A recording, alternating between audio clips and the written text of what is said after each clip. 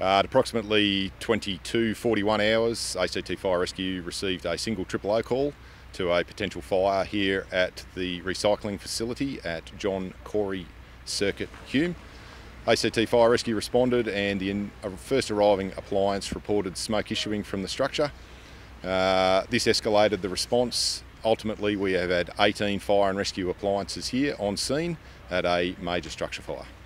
You say 18 appliances attended the scene. What kind of appliances attended the scene? Uh, we've had multiple fire rescue pumpers. We've had our two aerial uh, pumping appliances and uh, numerous support appliances, including breathing apparatus support, hazardous materials, platform on demand, and fire rescue command vehicles.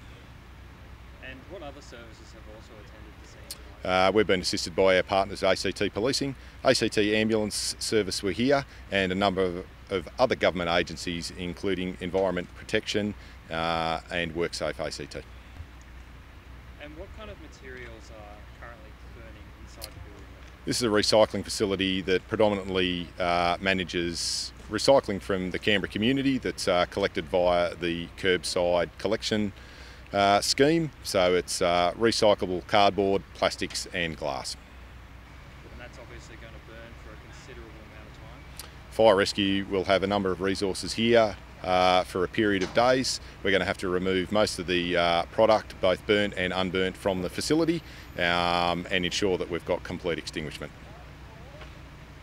Now, is there any other community messages you'd like to send out at the moment? Uh, there is significant smoke being uh, issuing from this structure, um, and looking forward tomorrow morning, there will most likely be some smoke spread across the uh, ACT uh, fire district, um, and that may have an impact on community members depending on the prevailing conditions at the time.